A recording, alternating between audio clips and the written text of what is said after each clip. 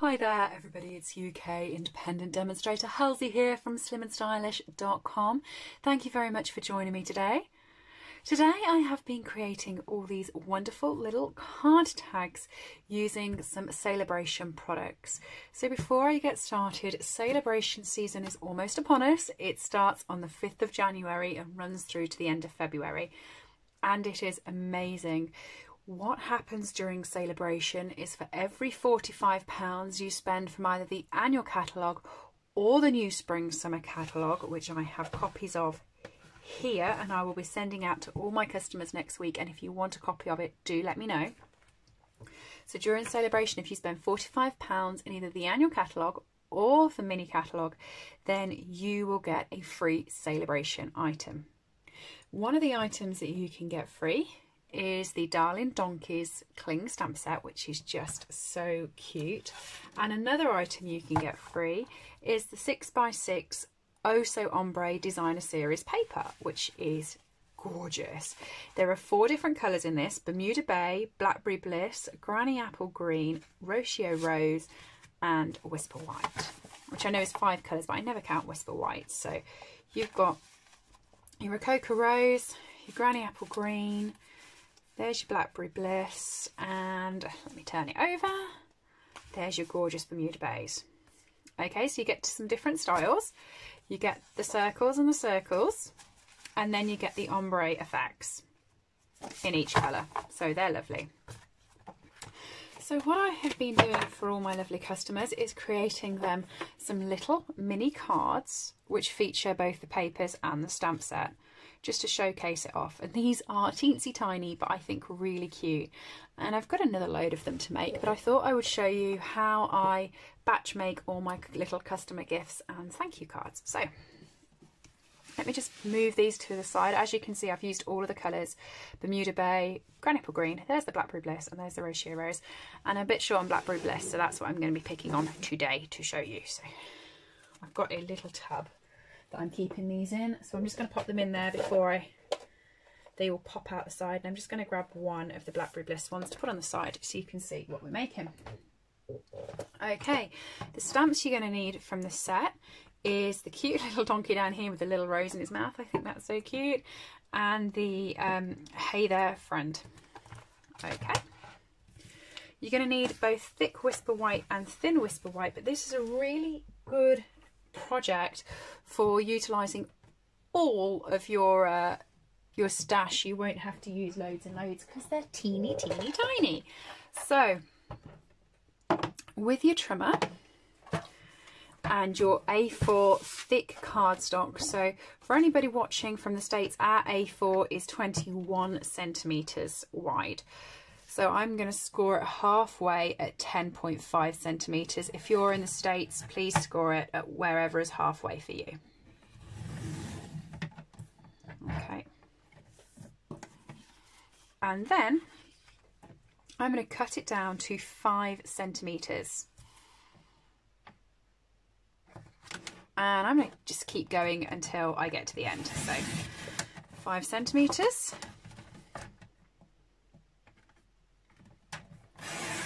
Five centimeters, five centimeters, five centimeters,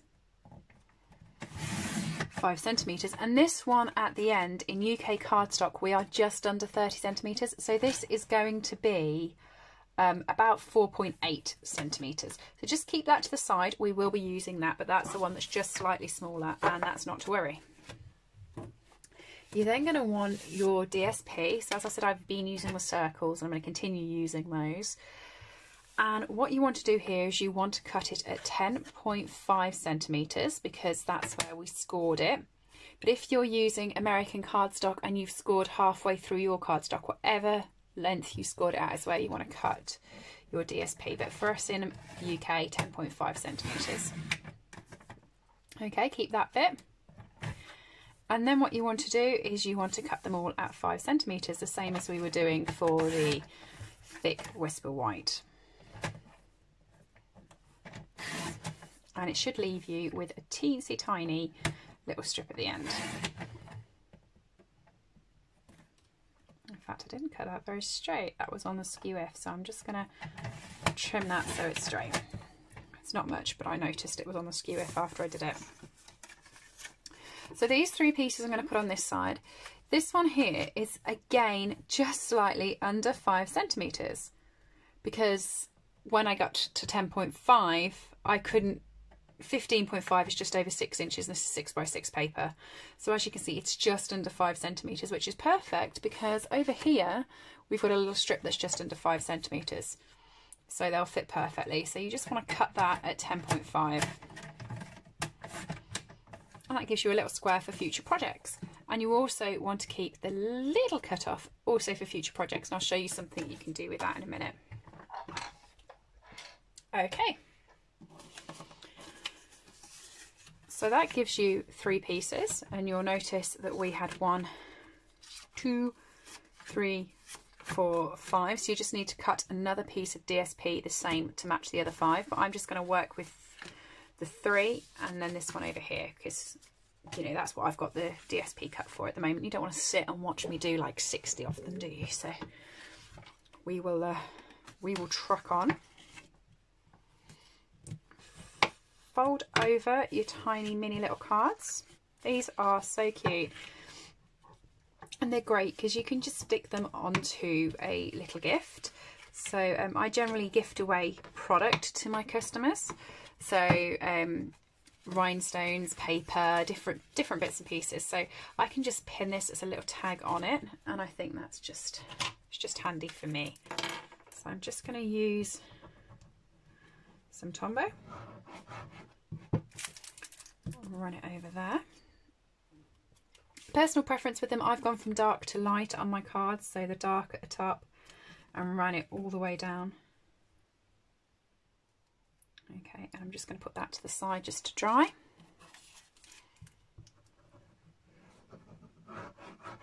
Like Granny Apple Green colour is lovely, isn't it? It's the one thing with Stampin' Up! DSP that really, really winds me up is the fact that it's so gorgeous and then there's another gorgeous pattern on the other side so you have to sort of choose one or the other and half the times I don't want to choose and I look at them for ages thinking which side am I going to use um, so I suppose that's a not really a problem. It's it's more of a compliment that I just like all of their products, but always creates some problem for me knowing which one I'm going to use. So I'm just going to use my bone folder to make sure those DSP layers are all stuck on and you'll notice that they sit on there so that the whole front of the card.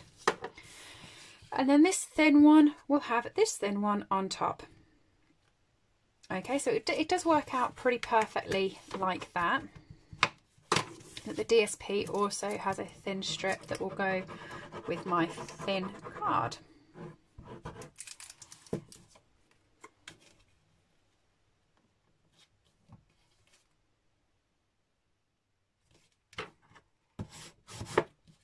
Okay, once you've got the the DSP strip stuck on, you can pop it with your others. It doesn't matter then which one's the thinner one. It's only a couple of point centimetres, but you know, you've got it. Then what we're going to do, Thin Whisper White, your Memento ink pad, and I'm just going to grab my trimmer back because I want some little squares that are two centimetres by three centimetres. So it's up to you which way you do this. I'm going to cut that at three centimetres. So I have a strip and I will pre-warn you on the Stampin' Up cut trimmer so I'm not confusing anyone. I do one, two, three centimetres and one inch on this side because I find that I have a whole guide here to rest against. Whereas if I do it on this side, I don't have as much of a guide and it goes wiggly. So this was at three centimetres. So all I'm going to do now is cut across at two centimetres. And as I said, I do it on this side. So these little rectangles are three centimetres by two centimetres. Over in the States, if you're using inches, it's three quarters of an inch by one and three eighths of an inch.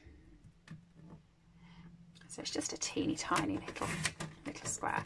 And in case you are new to my videos and you haven't watched them before, when I'm doing mass stamping and mass creating, um, either for customer gifts or swaps or things like that, that's a really tiny bit, so I'm, a bit worried about cutting that, so I'm just going to leave it to the side because it's going to go wobbly. Um, what I actually do in my craft room is I have these silicone um, cake moulds. They're for tiny little cupcakes.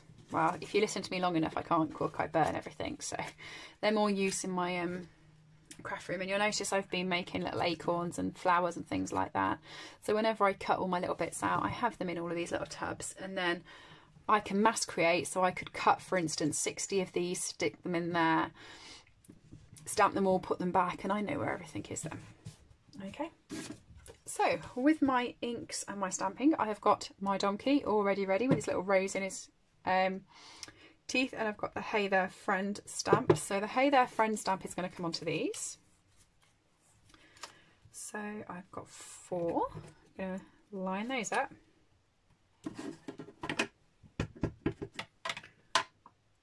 One.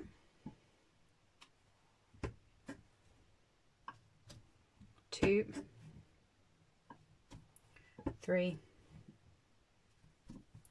Four.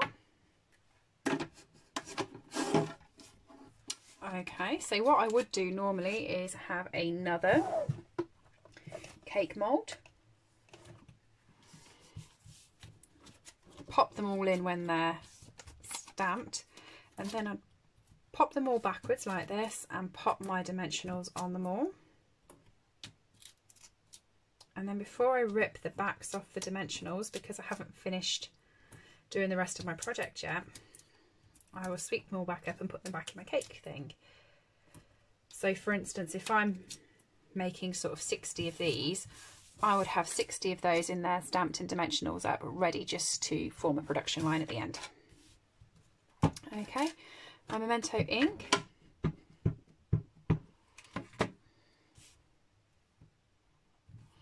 Okay, so I want four donkeys.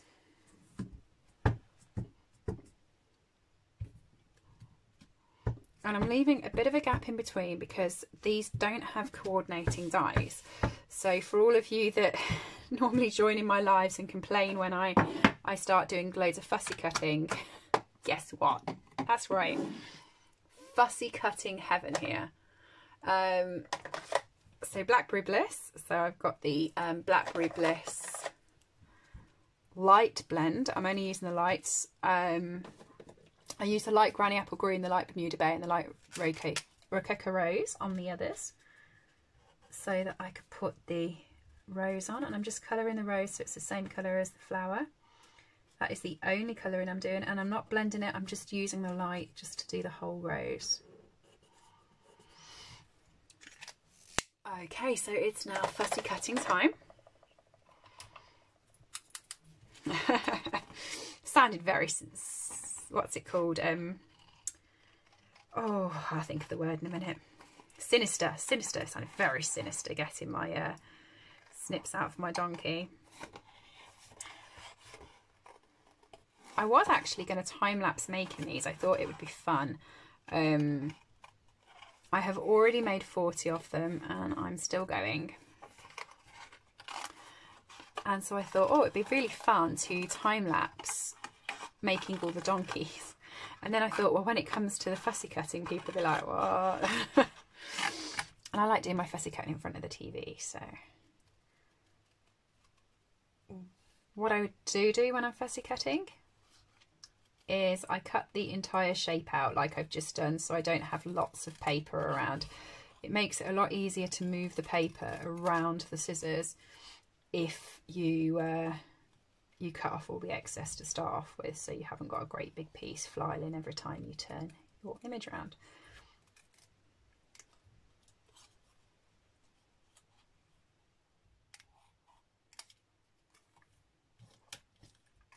I've only gone up the one leg. This was very, very thin to go up and I didn't really trust myself with my scissors, so I only did the one.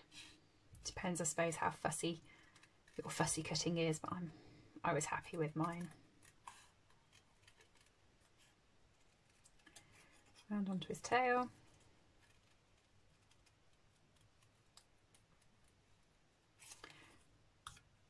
What I will say while I'm fussy cutting actually is if you liked the papers and you like the um, Sale-a-bration papers as well, and you're thinking to yourself, gosh, that's that's a bit I've got to spend in the new catalogue to get all of the Sale-a-bration papers because there are, trust me, there are four, I think, and they are all lovely. You can actually get them free by joining my paper share. Little cough, sorry about that. Very rude on a video, but got a scratchy throat. Um, so I'm having a paper share, which includes all of the standard papers in the annual catalogue. And then I'm having a deluxe paper share, which includes all of the deluxe papers in the mini catalogue. Sorry, this is for the mini catalogue, not the annual. I don't know why I said annual. Daft. Um, then I've also got a ribbon and embellishment share, and you also get free Sale-a-bration papers with all of those. So let me just explain to you how it will work because I've got a little grid. So the normal paper share just here is all of the papers in the new mini, and you will get a quarter of it, and the cost is £21.50. Whereas it would have cost you £10.75 for each one. And with that, you get the free paper Blooms DSP, which is just stunning. Then there is the deluxe paper share, which is £11.50. And you get a quarter of all of that. So it saves you quite a bit of money again from the uh, mini catalogue. And with that, you get the Berry Delightful DSP and you get a quarter of that for free. If you want the paper share and the deluxe paper share, it will cost you twenty one fifty plus eleven fifty, and you will get both of the paper share um, from the Sale-a-bration catalogue free. Then you've got the ribbon share down here, and the ribbon share includes a quarter of every single ribbon, yard, uh, ribbon, twine, um, yarn, anything that's in the catalogue. So you've got braided linen trim, you've got some twine, ribbons. You get a quarter of all of that, and if you order that for £11.25, you get the So Ombre, which is what we're using now. You get a quarter of that free as a thank you as well. And then the embellishment share is a quarter of all the embellishments. So that's like your rhinestones, your dots, your charms, your little trinkets and your clasps. And if you order that one, you get the Flower and Field DSP, a quarter of that free. And you can look and think, do you know what, I like ribbons, but I never use the papers, so I'm just going to go for the ribbons. Or I like the papers, but I'm not that keen on the ribbons. So you can do a chop and change, and you can get all four, or you can get one of the four. Okay, so if you want to join in, just drop me an email, slimmandstylish at live.co.uk. Leave me a message below. Just get in touch with me and let me know. I'll pop your name down for a share, and these will ship to you on the 5th of January okay? It's just a great way of getting a bit of everything from the catalogue, but not paying to get all of it, you know? You get a sampler. It was more than a sampler, it's a quarter of each one. And trust me, this year, the papers are just gorgeous. So I've popped a couple of dimensionals onto my little donkey. And I'm going to stick him on the top of my card. I've only fussy cut the one. I've got the others too fussy cut after the video, but you don't want to sit and watch me do four, do you? yeah, that would be fun. So there's my little donkey on there. Here's my little sentiment. Hey there, friend. And then I've got some rhinestones, which I'm going to pop on there. So they're not there. They're the little... Oh, I opened. Oh, there they are. I was about to say, I know I opened a new uh, new pack to do these and I couldn't find them. So I'm just using the little rhinestones and I'm just picking up two, one, two, and there's no rhyme or reason. I'm just picking little circles that are on the side. I'm just doing two of them to provide some glitz there. And there we go. Those are my teeny tiny little customer tags. 5 centimetres by 10.5 centimetres and they include our gorgeous Sale-a-bration products. So I can put those in my little tub as done. And I've got three more on my desk to do. So simple, so easy. If you do want a copy of any of the catalogues, just drop me a message below. I've just given you my email address. Go and have a look. If you want to join my paper share, drop me a message. Or if you just want to shop for any of the items that I've used in this video, they will go live 5th of January and you can purchase them from www.slimmandstylish.stampinup.net, which is just in the corner of the screen. Bye everyone. Sorry, I'm back. I did mention earlier on to keep hold of these little tiny strips that you cut off your DSP. What I've done with them is I collected all of them. I've used quite a few sheets of the DSP so far. And so I collected all of them and I created a tiny little strip like this. I've created a few of them. So I got a strip of Whisper White cardstock this was, um, it's three quarters of an inch by three and a half inches, or it's two centimetres by nine centimetres. And what I did was I covered it in glue completely, popped the strip on, popped all the colours on, then I cut up and then kept layering the strip all the way up so you get like a little strippy strip like this. And then what I'm going to do with it once I've finished is I'm going to create a few cards using the strips that I made. So for instance, if I just grab a card base, this is 10.2 centimetres by 14.5 centimetres. I can pop that then on there. So let's just, for instance, pop it on. Come on glue, you were working two seconds ago.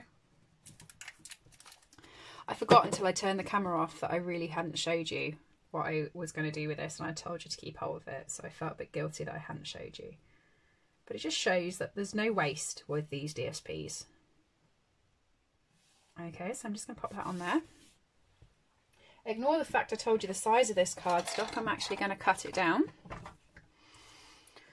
So I'm going to cut it down so it's 9 centimetres so it fits that strip perfectly. Okay. And if it's nine centimeters that's a centimeter and a half off. So I'm going to want a centimeter and a half off there. So it's going to be 13.25 centimeters.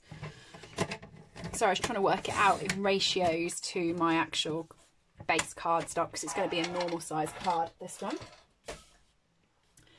And then you can add any of your bits and pieces on again. So I'm going to pop the donkey on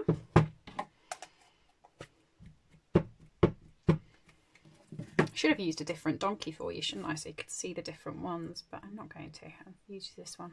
Um, he's going to go in the centre, I think. And hey there, friend. And I'm going to colour his rose in. I will colour it in in the light Bermuda Bay because Bermuda Bay. It was my favourite one of all the papers. It's why there was so many of those ones done because Bermuda Bay is my favourite colour. And then I'm going to grab um, some ribbon. Let's grab this one. This is from the annual catalogue. And I'm just going to run that. Yeah, to run it across there. So what I need is some glue on the back.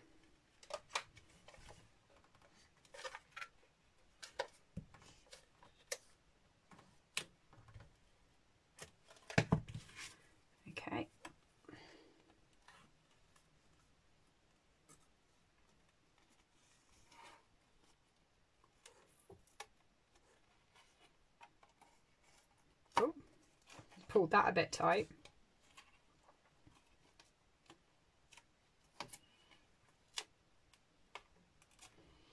Yeah, whenever you get offcuts of card, I mean, these little squares that we had as well are going to be so useful.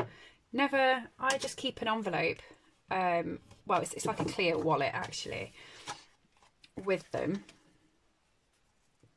Because you never know when you're going to be able to use them again. Oh, it's a good job my card wasn't still on that big, big side got to the end of my ribbon. I think I'm going to struggle to get a bow out of it. I am. Okay. Come on, Helen. You can get a bow out of here. Don't think we can, you know. I think my fingers aren't going to let me get a little bow out. Come on, you can.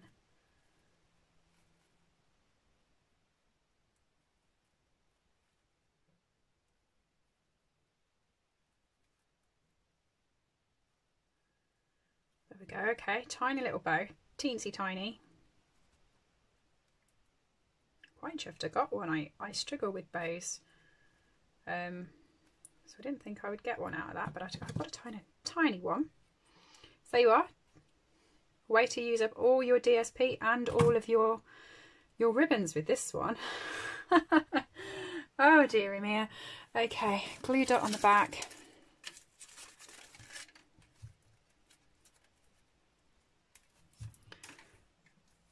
Pop that onto there. Oh, isn't that cute? It's teeny, teeny, teeny, tiny. So a piece of Bermuda Bay cardstock.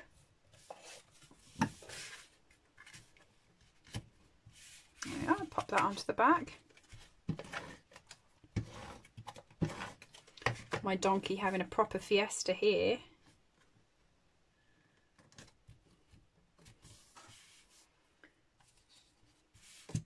Of the rhinestones. I'm going to use some of the bigger ones because I used little ones on all of those um, tags. So I've got an abundance of the bigger ones.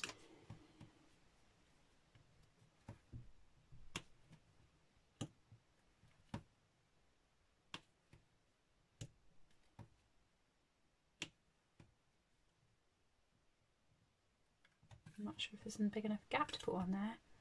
I'm going to say that there is. Looks odd if I don't put one on. Hey there, friend. There we go. I haven't got a card base because I wasn't planning on making a big card. but then that will just fit onto a card base. Um, I've got a card here that I was making earlier, so I'll turn it over and just pop that on top of there so you can see sort of the idea it will be. But yeah, so these bits here that you have chopped off, always keep hold of them. They come in so handy on everything and that's how I use my scraps. Thanks everybody again. If you have liked the video, do give me a thumbs up and don't forget it's all available from my website. Links are down below. Have a good week. Bye.